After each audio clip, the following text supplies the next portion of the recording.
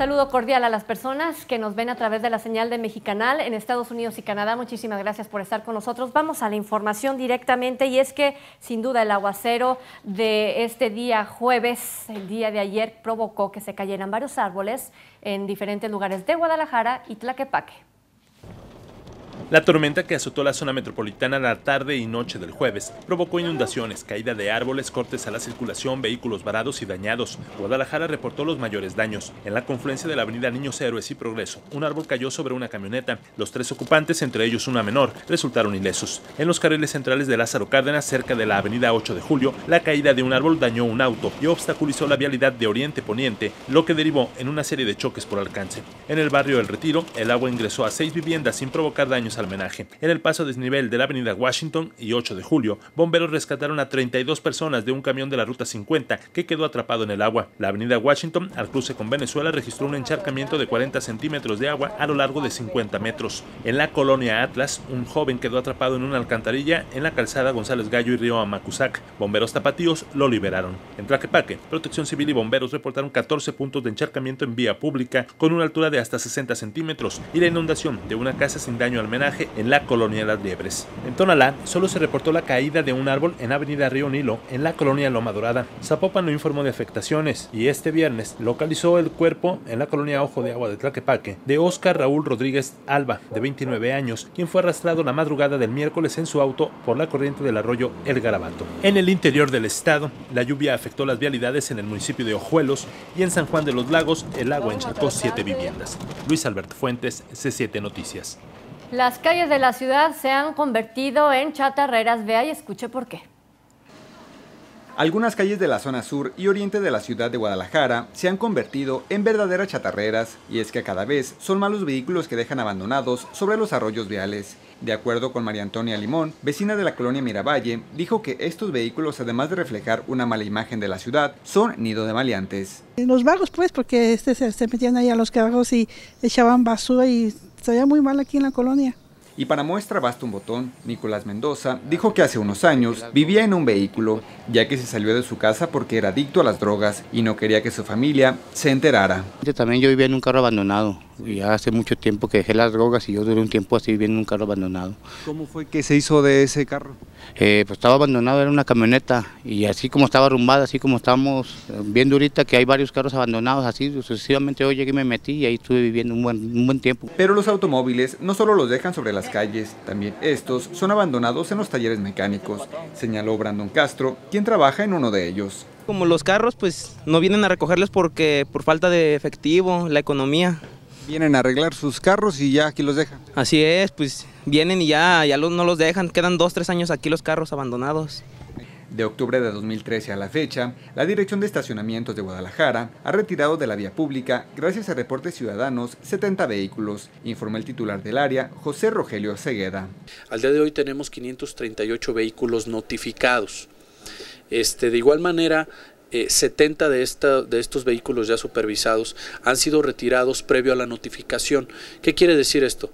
Este, que cuando nosotros llegamos a supervisar el vehículo y detectamos en ese momento o localizamos al propietario, se le solicita previo a la notificación que nos haga favor de retirarlo, ¿no? De guardarlo en alguna cochera. Pero también existe la otra cara de la moneda. Si su auto fue llevado al corralón y desea recuperarlo, lo puede hacer. Tendrán que pasar a nuestras oficinas, solicitar información, cuál es la, la, la, calidad que guarda en este momento su vehículo en el tenor del proceso y nosotros los derivamos ya con una carta previa identificación del propietario, o sea que efectivamente sea el propietario, que con los documentos idóneos justifique la propiedad del vehículo y entonces ya lo derivamos mediante una carta nosotros al IJAS para que le puedan hacer entrega este previo desde luego pago de los derechos en el IJAS, ya eso es un cobro del IJAS de manera directa, este para que le puedan hacer entrega de sus vehículos.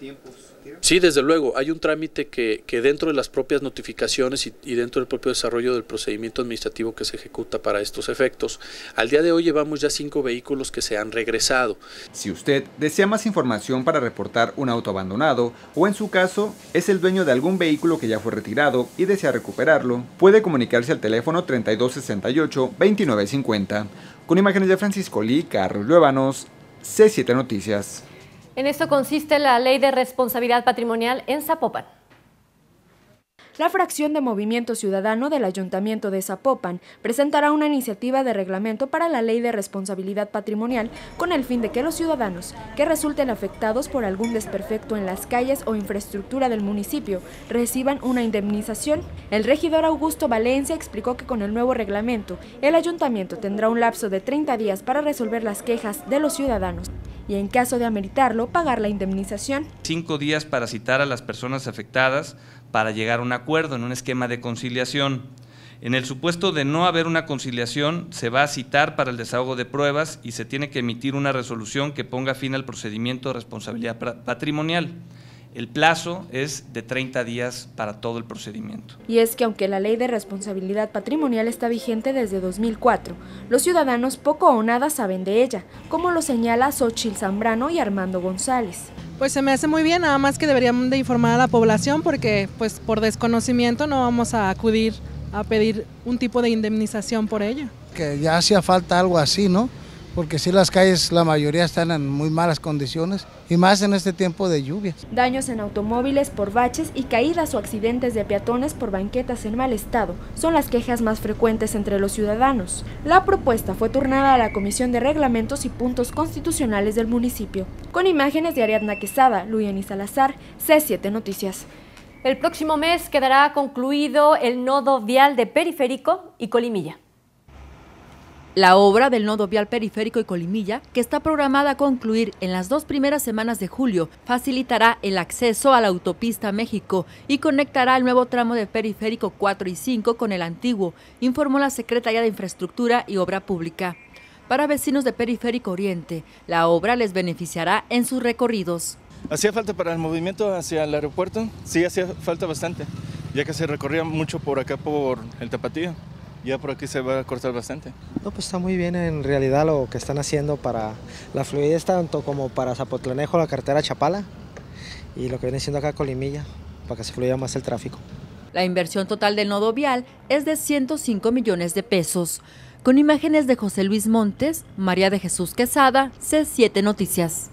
Hasta el momento están cotizando de la siguiente manera las divisas y los metales en este día de viernes. El dólar a la venta en 13 pesos con 30 centavos, el euro en 17 con 91. La onza de plata cotiza a la compra en 370 y a la venta en 400 pesos, mientras que la onza de oro a la compra en 16.650 y a la venta en 18.150 pesos. El centenario, por su parte, usted lo puede vender en 19 mil pesos y comprar en 21.500 pesos. Hay grandes proyectos en materia de educación en Jalisco. En Puerto Vallarta se invirtieron alrededor de 39 millones de pesos en infraestructura educativa y el objetivo es continuar así, ya que a decir del gobernador de Jalisco, Jorge Aristóteles Sandoval Díaz, lo que se invierte en educación nunca es un gasto. Pues lo que queremos es irlos orientando para garantizarles que tengan un desarrollo, que cuando salgan encuentren trabajo. Hacia allá queremos formar a nuestros estudiantes. Por eso venimos el día de hoy a darles mayor infraestructura, útiles gratuitos, mochilas y transporte gratuito para los estudiantes. Vamos a seguirlo impulsando en Puerto Vallarta. Durante la inauguración de la ampliación de la Escuela Secundaria General Guillermo González Camarena, el mandatario aseguró que está comprometido a impulsar el desarrollo de infraestructura de calidad en la entidad y la capacitación de sus docentes. Por cierto, como parte de su gira por Puerto Vallarta, Jorge Aristóteles Sandoval recibió a la presidenta de la República de Chile, Michelle Bachelet, quien se reunirá con el presidente de México, Enrique Peña Nieto, así como con sus homólogos de Perú y Colombia, Olanta Humala Tazo y Juan Manuel Santos, respectivamente. Todo esto en Punta de Mita, Nayarit, donde se llevará a cabo la novena cumbre de la Alianza Pacífico-México. Georgina Flores Venegas, C7 Noticias. La entrevista. Enverdecer o enverdecer, un juego de palabras muy importante que utilizará Expo Guadalajara para hablar precisamente del manejo del agua, entre otras eh, situaciones que tienen que ver con nuestro entorno verde. Está con nosotros Gildardo Luna, él es expositor de esta Expo Enverdecer. Le damos la más cordial bienvenida. Muchas gracias, Trini. ¿Qué problema? Gracias a ustedes. ¿Qué problema eh, enfrenta eh, nuestro país el manejo del agua? Eh, la situación actual del agua está en graves problemas. ¿Por qué es importante cuidarla? ¿no? Tengo algunas cifras que me gustaría este, mostrarte. para que eh, dimensionemos este, de qué manera está la problemática. ¿no? Eh, dice que cada mexicano consume en promedio 360 litros de agua este, al día. Entre 30 y 50% del agua limpia se va por, el drenaje, vamos, se pierden fugas. Eh, del agua potable, eh, las empresas consumen el 17% y las tomas clandestinas consumen un 37%, mientras que más de 10 millones de, personas eh, en México no cuentan con agua potable. Entonces, por eso, muy vital contar con, productos sustentables este, en los cuales van a estar en, en, la, expo, en la Expo, en Verdecer. ¿Cuáles son estas opciones que tenemos nosotros como ciudadanos eh, eh, para poder mejorar nuestro aprovechamiento de este Mira, líquido? va a haber una serie de, de, de productos que se van a exponer en, en, en Verdecer, este, que van desde el sistema de captación pluvial. Eh, es un producto que ya no a largo plazo, o sea, a mediano plazo y corto plazo va a ser fundamental. Eh, actualmente eh, hay una iniciativa en la cual al, al, a la gente común eh, si tiene productos sustentables, vamos a decir, como un sistema de captación pluvial, eh, se le piensa cobrar menos de predial. Entonces, son, son eh, propuestas que se hacen para tratar de, de, de beneficiar tanto al consumidor este, y, bueno, por, lo mismo, eh, cuidar nuestro planeta. ¿no? Y sin duda a las empresas también en el desarrollo de productos sustentables. Así es. Estos, estos productos van, tanto, van enfocados tanto al, al consumidor final como a las empresas, las industrias y a todos los ámbitos de la sociedad que serían productos al fin de cuentas que estarían al alcance de toda la sociedad. Están al alcance de toda la sociedad. En cuanto eh, a lo que cuesta. Económico, no. sí, claro. ¿Sí? Eh, yo creo que hablar de, de economía o, si son caros, yo creo que es más caro no utilizarla a fin de cuentas a la larga que, que empezarlas a utilizar. Yo creo que nos va a cobrar la factura, eh, si no hacemos algo urgente, yo creo que nos va a cobrar la factura pronto, ¿no? Sin duda, el manejo del vital líquido del agua potable como tal, al, vemos que, al ver que se eh, desperdicia tanto, eh, ¿cómo podemos también el ser humano contribuir a esto? Claro, bueno, mira, eh, aparte, bueno, en, en, cuanto al cuidado, pues está por demás decirlo, ¿no? O sea, hay pequeños detalles que, que luego regularmente la gente no lo, no, no lo ve o no lo hace, este, como, bueno, vamos a cerrar la llave cuando estás bañando, este, cuando estás lavando los dientes, no regar, no regar este, las mañanas, regar por las noches. Son una serie de detalles eh, pequeños que la gente no lo ve y que aportan mucho pues al, al cuidado del, del, vital líquido. Pues eh, esta expo está abierta para el público en general. Está abierta para el público en, en general, va a estar el sábado y el domingo. Este sábado y este, este domingo. sábado y este domingo, así es, mañana y pasado mañana. Va a estar desde las 9 de la mañana hasta las 8 de la noche y pues invitamos a todo el público en general a que vaya a, a conocer un poco más de cómo podemos cuidar el medio ambiente con productos sustentables que no necesariamente son, son muy caros, ¿no? Como te comentaba, yo creo que es más caro no utilizarlos que... que y no solamente hablarán del agua, sino de algunos otros productos que ayudarán a... Así es, hay, hay bueno, eh, también ver productos como, como este, el baño húmedo. Eh, tú sabes que aquí en Jalisco y en todo México hay lugares turísticos como Mazamitla, Tapalpa, en los cuales no hay drenaje. Estos baños húmedos este, son eh, por medio de tinaco, un WC y un biodigestor el biodigestor es el corazón del, del, baño y es el que se encarga de, eh, de, eliminar los sólidos que trae, de tal manera que no vamos a contaminar los mantos freáticos, el subsuelo, los ríos. Tenemos productos más grandes como las plantas de tratamiento de agua residual ya para comunidades más grandes, este, para que podamos eh, empezar a utilizar eh, todo el agua que, que, que, usamos. ¿no? Interesante, sin duda, esta ex, en Expo Guadalajara, esta Expo Enverdecer. Muchísimas gracias, Gildardo Luna. Trini, muchas gracias. Los esperamos por ahí para que vayan este sábado y domingo a conocer un poco de los productos sustentables. Así es, a partir de las 9 de la mañana. Es tiempo Así de hacer es. una breve pausa. Siga con nosotros porque al regresar, al regresar hablaremos de toda la agenda legislativa en el Congreso de Jalisco.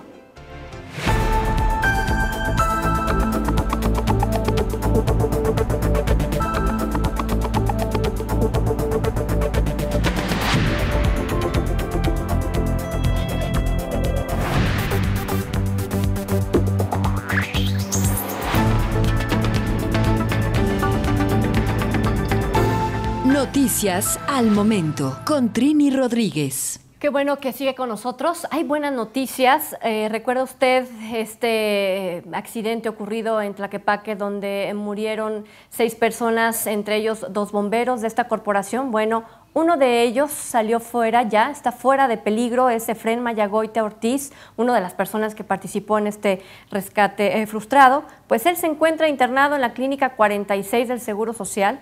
Es uno, como le digo, de los bomberos de Tlaquepaque que intentó rescatar a cuatro personas de un pozo artesiano en la colonia La Duraznera. Los civiles y dos rescatistas fallecieron en el lugar. Las eh, sustancias que se les o que les provocó este edema pulmonar por la causa por la que murieron no ha sido identificado. Así que enhorabuena a Efren Mayagoitia Ortiz que puede vivir para contarla. Julio Ríos en la línea telefónica. ¿Qué pasa en el Congreso? Adelante. ¿Qué tal, Trini? Un saludo a todo el auditorio. Pues el día de hoy varios diputados coincidieron en reprobar las declaraciones del senador José María Martínez, quien hace unos días, pues, en la instalación de una comisión especial del Senado para la defensa a la familia, pues eh, emitió algunos dichos que se consideran por parte eh, de ciertos sectores como homofóbicos y que incluso ya la eh, la CONAPRED tuvo un pronunciamiento al respecto. Tanto Enrique Velázquez González del Partido de la Revolución Democrática como Clemente Castañeda, pues señalaban que es preocupante que un eh, que, alguien que debe de legislar, pues eh, diga este tipo de, de, comentarios y pues señalaban ellos que, que la realidad que se vive en México y pues también en Jalisco es que hay muchas familias que, que no pudieran encajar en lo que algunos grupos dicen que son tradicionales y que por lo tanto también debe de respetárseles y tomárseles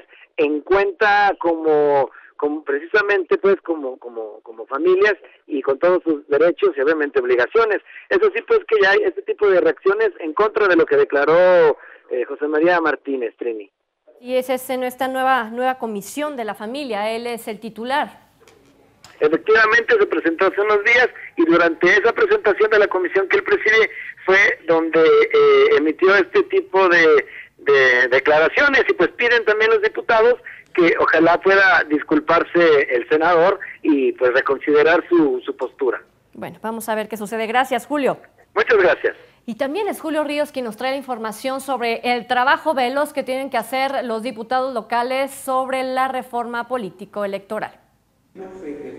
En sesión extraordinaria, el Congreso del Estado dio entrada a las propuestas de cada bancada con la idea de integrar un solo dictamen de la reforma electoral. Entre los partidos hay coincidencias en temas como la reelección de presidentes municipales y diputados y en la posibilidad de que los jaliscienses que viven en el extranjero puedan votar por alcaldes y legisladores. En esta discusión, el PRI propone la reelección, la paridad de género y mayor participación de pueblos indígenas. Así lo detalló el diputado Hugo Gaeta Esparza. Transparencia en los gastos de campaña a través del aumento de medidas de fiscalización oportunas e igualitarias. En el caso particular de nuestra entidad, se ha trabajado con apertura, diálogo y compromiso con todas las expresiones políticas. La propuesta de Movimiento Ciudadano implica reducción de dinero a partidos y regular las candidaturas independientes, aunque Clemente Castañeda afirmó que aún no han profundizado en estos temas en las mesas de diálogo. Nosotros hemos asistido a un par de reuniones donde se ha discutido superficialmente algunos temas eh, sin ir al fondo de la reforma. Hemos reiterado nuestro planteamiento de bajar el financiamiento a los partidos políticos. Enrique Velázquez, coordinador del PRD, afirmó que deberá modificarse el sistema de asignación de curules y regidurías. Decirlo que ya tenemos un avance importante eh, y va a haber muchas coincidencias en las iniciativas de uno y otro. Nosotros tenemos que destacar dos cosas, tres cosas. Una tiene que ver con que nos proponemos que sea representación pura, que las personas que tengan eh, el, partido político que, logre el 40% de la votación tenga el 40% de representación. El panista Elías Íñiguez recordó que su partido apuesta por una ley para partidos políticos y una fiscalía para delitos electorales. Vamos primero por la figura de referéndum aprobatorio y la consulta popular, estamos de acuerdo. Queremos formar eh, la Fiscalía Estatal contra, contra, ahora sí que las cosas electorales, la Fiscalía de Delito Electoral más bien dicho, las candidaturas comunes, vamos por los gobiernos de coalición. La intención es que este tema quede aprobado la próxima semana para luego enviar la reforma a los 125 ayuntamientos y que los cabildos la avalen. Con imágenes de Abraham Ceseña, Julio Ríos, C7 Noticias. Buscan obtener mayores apoyos para la Cruz Roja. De cada infracción o trámite automovilístico que se haga en Jalisco, 10 pesos irán seguros para la Cruz Roja Mexicana, en caso de que prospere una iniciativa del diputado Miguel Castro Reynoso, quien ante el Consejo Estatal de la Cruz Roja detalló en qué consiste su iniciativa de reforma al artículo 24 de la Ley de Ingresos. Estamos hablando de apoyos en alrededor de 100 conceptos y yo distingo por lo menos algunos de ellos. Les diría eh, una licencia cuando se hace el canje o eh, llega una licencia una alta, una baja de un vehículo. Eh, o doy dos que me parecen muy delicadas. Una de ellas es el tema de las multas por exceso de velocidad, en donde una parte deberá de irse a la aportación de la Cruz Roja y otra más como lo es el tema de las multas cuando hay alcohol. Castro Reynoso estimó que cada año se hacen 5.8 millones de movimientos de este tipo, aunque no adelantó una cifra económica con la que se vería beneficiada la Cruz Roja. Con esto, la benemérita institución podría resolver sus necesidades, afirmó el presidente de la Cruz Roja, Miguel Ángel Domínguez. La Cruz Roja se viene retrasando en los, sus ingresos, necesitamos este, fortalecerla para que pueda cambiar las ambulancias, para que podamos cambiar nuevos equipos de rayos X, para que podamos eh, ampliar eh, la cobertura que tendríamos que dar por la presión de servicios. El año pasado, la Cruz Roja atendió a más de 65 mil personas, ofreció más de 577 mil servicios médicos y capacitó a 6.531 ciudadanos en primeros auxilios. Las necesidades de la institución rebasan los 120 millones de pesos anuales, por lo que Domínguez hizo un llamado a que los demás diputados se sensibilicen con esta propuesta. Con imágenes de Abraham Ceseña e información de Julio Ríos, C7 Noticias. Y cómo olvidar a René Bejarano. Julio Ríos, ¿cómo estás? Muy buena tarde. Eh, ¿Qué tal? Muy buena tarde de nuevo. Pues efectivamente el profesor René Bejarano, este contributivo personaje, estuvo en Guadalajara pues para hablar de varios temas. Primero decían que están eh, pues promoviendo una campaña para eh, intentar un referéndum por el tema de la reforma energética y que quieren juntar eh, 40 mil firmas en Jalisco y 2 millones a nivel nacional pues para defender el petróleo, decía él, y también pues estuvo hablando de la renovación del PRD, señalan que ellos buscan tener los mejores resultados en la renovación del Consejo en agosto para poder eh, pues hacer regresar a Cuauhtémoc Cárdenas a la presidencia del PRD nacional. Señalaban también que están preparando sus propios candidatos para la renovación del presidente estatal del Sol Azteca que también se realizará en este caso en en septiembre o octubre están por definir porque será el INE el que organizará la, la elección y pues dicen ellos que el grupo que actualmente está en el, en el, comité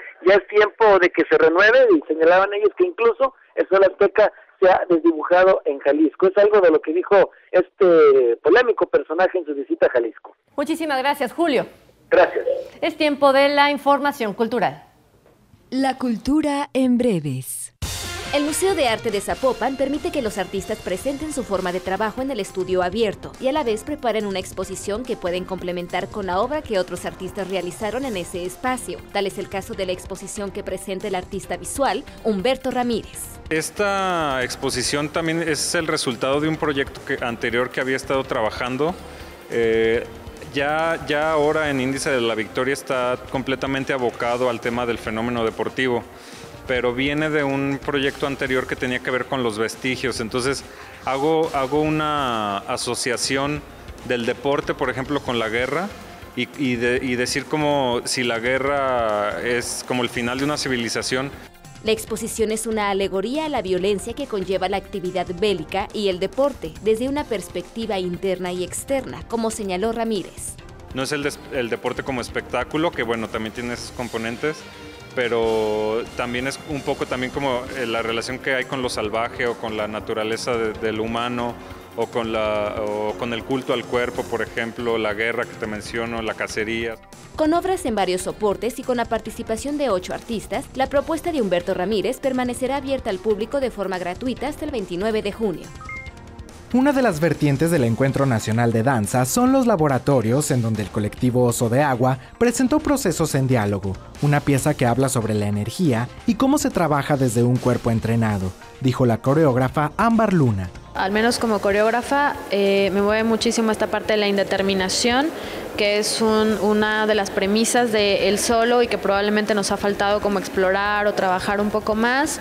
Eh, me parece una cosa que nos sacude mucho ha sido la reacción del público. Más actividades como esta continuarán realizándose hasta el 21 de junio en el Encuentro Nacional de Danza. El teatro y la danza en sus diversas manifestaciones se unen para presentar la obra La Vuelta al Mundo en 80 días de Julio Verne, con adaptación de la directora de la Escuela de Danza Guadalajara AC, Mariane Alarcón. Y trata de un lord inglés que en una discusión y en un momento como de locura hace una apuesta de prácticamente toda su fortuna, eh, estamos hablando del siglo XIX, que va a poder darle la vuelta al mundo en 80 días solamente. Dado los medios de transporte y los recursos que existían en aquel entonces, pues los compañeros y los amigos consideran que está loco. La vuelta al mundo en 80 días se presentará este sábado a las 7 de la noche en el Teatro Diana. Guadalajara invita a todos los desarrolladores e innovadores del mundo digital al Campus Party del 24 al 29 de junio con más de 600 conferencias y actividades en las instalaciones de Expo Guadalajara. La iniciativa busca facilitar el uso de las aplicaciones tecnológicas de vanguardia al servicio de la sociedad. Jalisco espera romper el récord de Londres con 10.000 asistentes y lograr convocar 100.000 participantes a la fiesta de la tecnología para motivar a los jóvenes a emprender y aplicar sus conocimientos en pro del desarrollo del país y del trabajo, participarán 150 universidades. Los asistentes podrán presentar proyectos que beneficien a la seguridad ciudadana, prevención y gestión de desastres naturales, educación a distancia, difusión de la cultura digital y comercio electrónico. Durante los maratones de negocios se seleccionarán los 20 proyectos más innovadores de cada categoría. El Instituto Nacional del Emprendedor, las empresas y el gobierno municipal darán seguimiento y apoyarán los mejores proyectos para que se realicen y destaquen a largo plazo. Para registrarse y participar en los retos y maratones de negocios se puede consultar la página http diagonal diagonal www.campus-party.com.mx diagonal 2014 diagonal index.html. Reflejar la cultura del tequila a través del séptimo arte fue el propósito del Consejo Regulador al convocar a jóvenes cineastas para participar en un concurso del que seleccionaron los tres mejores de 20 proyectos inscritos. Alan Becerra obtuvo el tercer lugar por plasmar la bebida como tradición familiar desde la plantación de agave hasta la labor del gimador en el corto inolvidable. En vez de reflejar pues, la clásica tradición de, ah, sí, mi papá tomaba tequila, entonces yo tomo tequila, quise reflejar eso del gimador y pues hice una historia sobre un abuelo y un nietecito. Entonces el abuelo le transmite todas las tradiciones de jimar al, nieto y pues prácticamente es algo que lleva generaciones y generaciones, entonces me hizo algo importante. Inolvidable se filmó en Amatitán, Jalisco en tres días, con cuatro personas de producción y un presupuesto prácticamente inexistente. Cabe resaltar que los protagonistas realmente forman parte de una familia involucrada con la plantación de agave. Así lo que hicimos fue gracias a la historia, gracias a la edición, gracias a las actuaciones, pues prácticamente lo conseguimos todo gratis. ¿Qué será? Nos gastamos unos 4 mil pesos a lo mucho. Hay que producir, así no hay de otra, no hay mucho dinero, pero teniendo una buena historia, teniendo un equipo decente, ya se puede hacer algo bastante bueno. Tres estudiantes jaliscienses de la Escuela Superior de Arquitectura representaron a México en el mundo al ganar por el mejor diseño de entre 100 participantes de 40 países el Trolltech Award 2014, un concurso internacional realizado por una compañía danesa fabricante de paneles acústicos para absorber el sonido del exterior y generar armonía sonora en interiores. Comentó Adrián Becerra que la investigación que realizaron fue desde la perspectiva social. El ruido está en todos lados, invadiéndonos en todo momento y lo que hacemos más o menos siempre es ignorarlo, ¿no? Hemos desarrollado una capacidad de pues casi casi cerrar el oído y no, no darnos cuenta del tráfico, de las máquinas, etc. El kit que crearon se conforma de una bolsa de agua y rebaba de madera bajo el lema Hágalo usted mismo, expresó Joshua Domínguez. Generaron una masa y esa masa podía ser entonces con tus manos lo que quisieras, ¿no? En la cantidad que quisieras y en la forma que tú quieras. El toque femenino estuvo a cargo de Yagis Romero, quien aseguró que su planteamiento los ayudó al dictamen final del jurado, conformado por expertos de renombre internacional.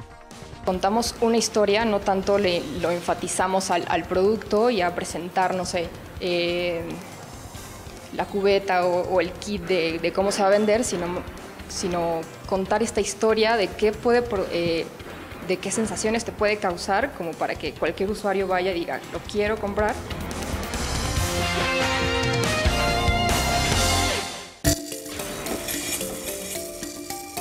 La entrevista. Listos para quien le gusta el ballet, habrá gala de ballet eh, del joven ballet de Jalisco y está con nosotros su director, Darius Blayer. ¿Cómo está? Doña Trini, gracias por invitarme. Con mucho gusto aquí con todos ustedes. Invítenos a todos. ¿Dónde? ¿Cuándo? ¿Cómo le hacemos para ir? Tenemos eh, un, final de temporada, final de mes de junio, 27, 28 y 29 de junio en Teatro de Gollado, una gala de ballet. Es la segunda gala que presentamos y quiero decir a todos aficionados a ballet que estuvieron en primera gala que no repetimos nada. Todo es nuevos ballet, nuevos bailes, todo es nuevo es de este fin de semana en ocho días, viernes, sábado y domingo. Correcto, es sábado, eh, viernes 8.30 a la noche, sábado 8 a la noche y domingo 12.30 a la tarde. ¿Qué vamos a ver? Si sé que es nuevo, ¿qué es? Eh, bueno, nuevo digamos para nosotros, porque no repito, pero digamos, Padedé de Blanco de Lago Los Cisnes, eh, Corsario, Flamas de París, eh, Padedé Moderno Caín Abel, Aguas Primaverales, Napoli, eh, y algo, dos, tres más, que no me recuerdo ahorita porque sí es mucho. Cuando vemos una gala de ballet o vemos una obra espectacular como El Lago de los Cisnes o a lo mejor otra, muchas veces vemos un bailarín principal que se trae muchas veces de otros países. En este caso... En este caso yo traigo de otros países, pero mis bailarines. Eh, en nuestra compañía de 23 bailarines tenemos... ¿Cuántos son? 23. 23.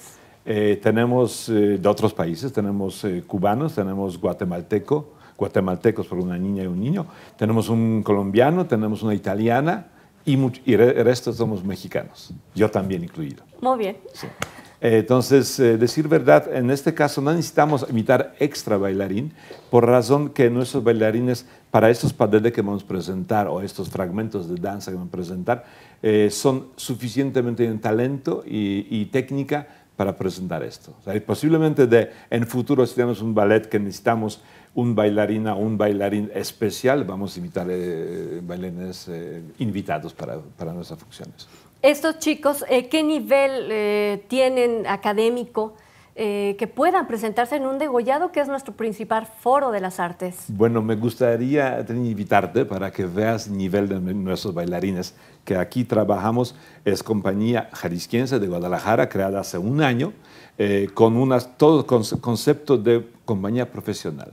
Hicimos audición, se presentaron alrededor de 200 jóvenes y de estos dijimos 18.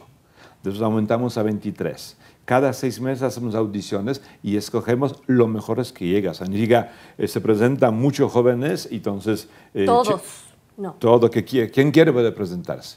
Por supuesto, hay una selección antes porque muchas veces eh, gente no se imagina qué significa una compañía profesional de danza. Entonces, eh, exigimos un currículum, dónde estudió, eh, dónde trabajó, si trabajó, y unos fragmentos de video o fotos de unos poses que de estos uno profesional puede deducir si bailarín tiene nivel eh, en cierto grado y podemos evitar unos que llegan, digamos que, que con mucha pena debo decir, no, sabes que no puedes eh, tomar clases de audición porque no vas a poder eh, audicionar, por X razón. También estatura, peso y técnica dancística, por supuesto. Sin duda, y no solamente de ballet clásico, porque tienen diferentes disciplinas. Pero digamos, examen, digamos, audición se hace a base de ballet clásico. Eh, por supuesto, después si yo necesito uno eh, bailarino o bailarina para contemporáneo, maestro o director o coreógrafo eh, mueve bailarines y ve cuál se mueve, mueve mejor en contemporáneo, en ragtime, en jazz o en otra expresión, digamos, dancística. Daríos, próximamente es el 27, 28 y 29. Viernes 27, 8.30, Tato de Gollado, 28, sábado a las 8 de la noche y 29 es domingo, 12.30 de la noche, Gala de Ballet, Joven de Jalisco. Invito a todos cordialmente. Muchísimas gracias por la invitación. Gracias, Toño, muchas gracias. Gracias. Es tiempo de la pausa. Ya que regresemos, platicaremos de más de la información que le tenemos preparada para usted. Y es que hay que tomar serias, serias precauciones porque crecen los delitos cibernéticos.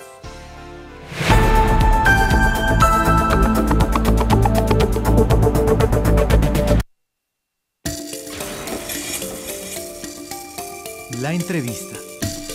El INEGI tiene realizando ya desde hace meses este censo económico 2014 para Jalisco. Con nosotros aquí en el estudio Odilón Cortés Linares. Muchísimas gracias por acompañarnos. ¿Cómo van? Contrario, gracias a ti por invitarme. Mira, este, estamos precisamente en la etapa, digamos, final ya del levantamiento de los censos económicos. Concluimos el barrido por todas las localidades urbanas del territorio nacional, eh, donde captamos la información en todos los establecimientos pequeños, eh, vamos a decirlo pero no estamos ahorita en la etapa precisamente de, donde tenemos que captar la información de los establecimientos más grandes. Eh, la información de estos establecimientos es tan importante que significan prácticamente el 83% de todo lo que es la producción nacional. O sea, a pesar de que, digamos, la etapa más fuerte ocupa más gente y son muchos más los establecimientos, en realidad la producción eh, está precisamente en estos establecimientos pequeños que son, eh, en el último levantamiento censal, fueron alrededor del 1% más o menos de las unidades económicas que, que realizan precisamente esas actividades y que ocupan como al 73% más o menos de la mano de obra de nuestro país. ¿Para cuándo tendrá terminado este censo? La idea es terminarlo el 31 de julio. en cuanto a la, acumulación de datos, eso apenas. En la captación de la información, efectivamente, la captación de la información. Y el proceso de análisis, me imagino que ya está, ya, desde el principio ha desde comenzado. Que sí, fíjate que si recordarás, nosotros estamos captando la información, bueno, el levantamiento masivo, lo levantamos a través precisamente de instrumentos electrónicos, de tal suerte que se captó la información e inmediatamente eh, se iba validando eh, parte de esa información y el proceso de la misma eh, inició una vez que se acumuló toda la información hace un mes y a partir de ahí empiezan los procesos precisamente de, toda la información. Obviamente de los establecimientos chicos, de los grandes, bueno, pues este en julio que concluye la información, estamos haciendo este procesos de validación durante el levantamiento, pero eh, la información completa pues va a ser hasta que captemos el último establecimiento y entonces sí empezamos a correr todos los sistemas ya precisamente para integrar toda la información. Mm, de todos modos, este, vamos a tener información precisamente dado que utilizamos ahora estas tecnologías de la información. En, la idea es de que en enero tú ya puedas consultar al Directorio Estadístico Nacional de Unidades Económicas perfectamente actualizado. Es decir, todas las unidades que captamos en el levantamiento censal van a estar georreferenciadas y tú las puedes identificar a todas y cada una de ellas. Estamos esperando que van a ser como 5.7 millones de unidades económicas. ¿Cada cuándo hacen este, este Cada cinco años. el último levantamiento fue en 2009 y en aquel entonces captamos algo así como 4.7 millones de unidades económicas. En Jalisco fueron como 300 mil, 300, poco más de 300 mil unidades económicas las que captamos en aquel entonces. La invitación del INEGI a la población que todavía tiene que ser censada es... A los establecimientos grandes es de que, bueno, pues que se den cuenta precisamente de la importancia que tiene su información y que es muy importante porque la requieren todos los mexicanos, la requieren en primer lugar ustedes, porque es una información que les vamos a devolver con valor agregado. ¿Qué queremos decir con esto? Que toda la información que se está produciendo dentro del área, dentro del ramo de actividad que ustedes están produciendo o que ustedes trabajan, bueno, toda la van a tener perfectamente integrada y van a saber exactamente cómo está cada una de las ramas y clases de actividad que existen en nuestro país. Y bueno, nosotros estaremos en contacto con ustedes precisamente con el propósito de regresarles esta información, por supuesto con valor agregado. La comparación del último censo a este en unidades económicas, tan solo en Jalisco, ¿cuál es? Eh, mira, en aquel entonces, de la que ya tenemos ahorita este concluido, que es la etapa de levantamiento masivo, captamos 276 mil unidades económicas más o menos, las demás eran rurales. Pero ahorita te puedo hablar de que están sobre las 309 mil, 310 mil más o menos unidades económicas que captamos ya a través del barrido. Estamos ahorita en la etapa de levantamiento de la muestra rural y de los establecimientos grandes, que es poco más del 1%. Rodrigo Cortés, muchísimas gracias. Al contrario, Trina, a ti muchísimas gracias y a la empresa, por favor, por hacernos este, eh, podernos comunicar con nuestros informantes. Y aquí estamos pendientes de los resultados. Muchas gracias, con mucho gusto se lo vendremos, ¿sí? Vamos a más información. Déjeme comentarle que lamentablemente los casos de violencia o delitos cibernéticos crecen en la red.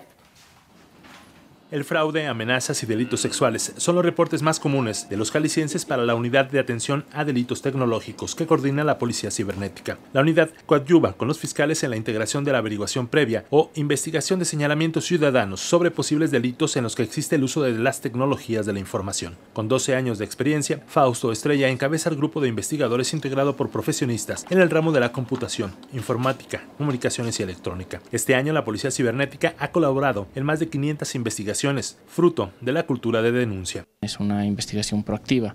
Esto es que eh, continuamente el personal está monitoreando el Internet, redes sociales, páginas web que tienen que ver con, el estado de Jalisco principalmente, en donde eh, bueno, se puede ir detectando este tipo de situaciones que de alguna forma nos ayudan a iniciar investigaciones contra sujetos que están de alguna forma utilizando las tecnologías de información para eh, relacionarse con algún delito. Los ciudadanos no son los únicos vulnerables ante los delincuentes que usan las tecnologías. Las páginas de dependencias gubernamentales también sufren un constante ataque por parte de activistas con el objetivo de la desacreditación y para esto realizan una continua exploración de vulnerabilidad de los portales, hecho que redobla la vigilancia del ciberespacio por parte de administradores y en más de una ocasión derivó en la intervención de la Policía Cibernética, agregó el funcionario de la Fiscalía de Jalisco. Lanzan operaciones que tienen que ver con denegaciones de servicio, con Face y bueno, lo que buscan es de alguna forma ah,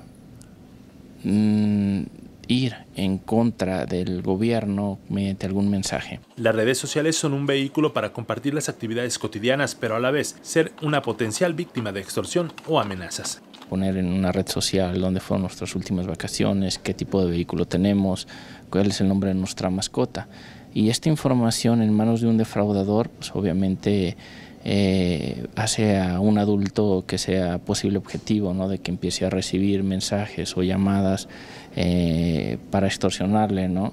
Tanto adultos como menores deben asegurarse de contar con las medidas de seguridad de sus perfiles en redes sociales y no compartir material sensible y denunciar cualquier amenaza, comentó el experto Fausto Estrella. Lo que nosotros eh, recomendamos a la ciudadanía en general es que ante una situación de este tipo acudan a levantar su denuncia. Esta denuncia la puede presentar con cualquier ministerio público eh, solamente tiene que aportar eh, la situación que se dé en Internet de forma impresa. El ciudadano común es más vulnerable al fraude, en particular al denominado fraude nigeriano, emails que prometen porcentajes de sumas inmensas a cambio de un depósito o transferencia monetaria, así como la promesa de atractivos empleos y de venta de artículos en renombrados bazares electrónicos. Los fraudes en que nosotros este, trabajamos tienen que ver con venta de artículos en internet, eh, inclusive venta de vehículos. Este, vemos eh, algunas ventas de tiempos compartidos o de viajes. Esos son los tipos de fraudes más comunes. Pornografía infantil, extorsión por fotografías de contenido sexual y ciberacoso son los delitos más comunes en contra de menores de edad. La Unidad de Atención a Delitos Tecnológicos ha participado con sus similares de otros estados de la República, así como Estados Unidos, Canadá, España y países sudamericanos, para desmembrar organizaciones criminales. Con imágenes de Israel Carvajal, Luis Alberto Fuentes, C7 Noticias. La pausa y cuando regresemos eh, le platicaremos sobre esta propuesta para evitar malos manejos en recursos sociales.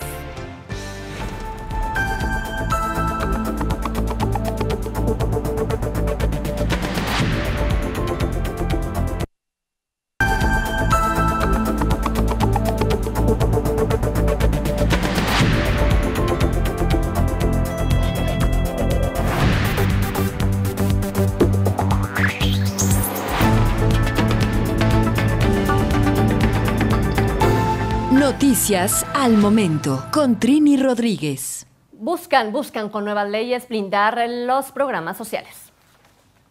Para ponerle dientes a la ley para acabar con el mal uso de los programas sociales, la Secretaría de Desarrollo e Integración Social de Jalisco trabaja en una iniciativa que enviará al Congreso del Estado y así los diputados locales aprueben una serie de reformas al Código Penal y de Procedimientos de Jalisco y a la Ley General de Desarrollo Estatal para que pueda castigarse penalmente a quien incurra en alguna irregularidad. El secretario Salvador Rizo dijo que lo más urgente es evitar que particularmente en el siguiente proceso electoral alguien condicione o haga mal uso de los programas sociales en cualquier nivel de gobierno. Indicó que en el caso de las irregularidades que se han denunciado por la venta de bienevales, la dependencia actuó de manera rápida y adecuada ante los señalamientos, pero el problema radica en que cuando se investigan los hechos, nadie se atreve a señalar o ratificar a las personas que presuntamente incurren en los actos que son denunciados. La Secretaría de Desarrollo Social tiene una campaña para que los ciudadanos denuncien el mal uso o condicionamiento de los apoyos sociales o si se a personas que no necesitan el apoyo. Para ello habilitó el teléfono 01800 525 733 47 en donde se recibirá de forma anónima cualquier señalamiento. Imelda Muñoz, C7 Noticias. La entrevista. Déjeme platicarle que Jalisco en un año pasó del quinto lugar al tercer lugar en el índice de transparencia y disponibilidad de la información fiscal de las entidades federativas, solamente eh, aventajado por el Estado de México y Puebla. Está con nosotros para platicar precisamente de este logro, quien está pues, responsabilizado, Guillermo Muñoz Franco, coordinador general de Transparencia e Información Pública del Estado de Jalisco, y nos da mucho gusto que nos platique. Gracias, muy buenas tardes. Comentarles nada más que, eh, bueno, pues este eh, A Regional es una casa evaluadora con un prestigio a nivel nacional y cada año lleva a cabo una evaluación sobre el índice de transparencia, de disponibilidad de información fiscal. Eh, y bueno, pues el día de ayer estuvimos en la Ciudad de México en una rueda de prensa nacional, con A Regional presenta los resultados y Jalisco se posiciona de estar en quinto lugar, pasamos a tercer lugar. Esto gracias al esfuerzo eh, y en la coordinación que hemos tenido de la Secretaría de Planeación, Administración y Finanzas del Gobierno del Estado y por supuesto del compromiso y la indicación del señor gobernador de aplicarnos y llevar al Gobierno del Estado de Jalisco a posicionarlo a nivel nacional. Eh, esta evaluación que llevó a cabo a regional es muy importante porque acerca y le da eh, un lenguaje más ciudadano en la materia de acceso a la información en, este, en materia fiscal. En ese sentido, nos parece bueno pues, que hubo un buen avance desde el gobierno del Estado. No, nos sentimos no satisfechos porque la apuesta es precisamente el próximo año llevar a Jalisco a ser el primer lugar, a ser el referente a nivel nacional. Si tuviera que enumerarme cuáles son los puntos a mejorar de forma breve por cuestión de tiempo, ¿qué sería? Sí, esta evaluación, bueno, los puntos a mejorar, la evaluación nos está planteada en seis módulos. El primer módulo es el marco regulatorio, el segundo módulo es los costos operativos, el, tercero es la parte de, de programático y presupuestal, y el siguiente es rendición de cuentas, eh, transparencia, y la parte también de que esté, eh, el objetivo es que de toda esta información, de todos estos módulos, la información esté de manera actualizada, que esté disponible de cara al ciudadano y por supuesto este, también que estemos aplicados a lo que las leyes nos mandatan. En ese sentido, eh, es un beneficio para los ciudadanos calicienses en materia de información eh, fiscal, eh, y bueno, pues este, trae muchos beneficios para el ciudadano, que es muy importante. Uno de los, de las, eh, de acuerdo de los elementos de acuerdo a esta metodología es el presupuesto ciudadano. Aquí es importante también que el ciudadano haga valer estas leyes. Son suyas, están hechas para usted y Jalisco está comprometido a del tercero brincar al primero, no porque lo diga yo, sino porque ya fue la invitación que le hizo el gobernador. Y yo le agradezco mucho que nos haya platicado. Estamos a sus órdenes y bueno, pues el Creo que seguiremos trabajando eh, e intensificando las actividades para que Jalisco sea un referente a nivel nacional en la materia a través de este índice de disponibilidad de información fiscal. Que así sea. Muchísimas gracias. Gracias, al contrario. Es tiempo de los deportes. Deportes. La máxima fiesta del fútbol en el orbe no está exenta de tener fallas y desde antes de su inicio se vio plagado de protestas, de construcciones apresuradas por la cercanía a la justa deportiva e inclusive el derrumbe de un techo en el estadio Sao Paulo y varias sedes que se presentaron con detalles a finalizar en sus estadios y urbes. Además de ello, el robo de cerveza a manos de mexicanos en el estadio Das Dunas en Natal, Brasil, en el juego ante Camerún, marcó un hecho que podrá quedar como una anécdota chusca de pseudoaficionados, pero que no ha sido hasta el momento lo más lamentable de este evento La tarde de este miércoles 19 de junio, entre una y dos centenas de aficionados chilenos entraron a la fuerza al encuentro de sus seleccionados contra los españoles y justificaron su violenta acción en que no había boletos para el encuentro, pero sí en reventa a precios impagables. El saldo fue de varios detenidos que se declararon culpables y daños severos en las instalaciones del área de medios. Unos minutos después de este suceso, otro hecho se sumó a la lista del antimundial en Brasil. En el crucero MSC Divina transcurría la fiesta de alrededor de 3.500 aficionados mexicanos y uno de ellos decidió en su estado etílico, según versión oficial del capitán del buque, terminarla con un acto suicida. Se arrojó del navío en movimiento. Trascendió en declaraciones de testigos que este joven lo hizo para impresionar a una reportera. En su cuenta de Twitter, el ganador del viaje por un concurso de una empresa cervecera, Jorge Alberto López Amores, hijo del procurador de Chiapas, Raciel López Salazar, se publicaron diversos videos donde destaca la práctica de su salto en un jacuzzi de la embarcación, un momento antes del verdadero. Hasta el momento no se ha localizado el cuerpo. Con información de Jaime Alberto Tinoco, C7 Deportes. La alberca ubicada a un costado del Estadio Panamericano de Atletismo pudiese ser inaugurada a inicios del mes de julio y ya solo faltan detalles mínimos en regaderas, informó el director de Comú de Zapopan, Norberto Valdivia. Estamos en, en las últimas revisiones, ya la alberca como tal está funcionando, Estamos ahorita con, con, el término de cierres de lo que son los, los, baños, vestidores y todas las áreas comunes. Dentro de las nuevas modificaciones, el piso es de bambú, material que evita la propagación de hongos en los pies y consta de pequeños canales que permitirán la recirculación del agua. El director del Comú de Zapopan aseguró que esta servirá a personas de la tercera edad, atletas en proceso de recuperación y niños y gente con discapacidad. Con imágenes de Carlos García, Jaime Alberto Tinoco, C7 Deportes. Nos vamos. Muchísimas gracias por habernos acompañado el próximo lunes con más información.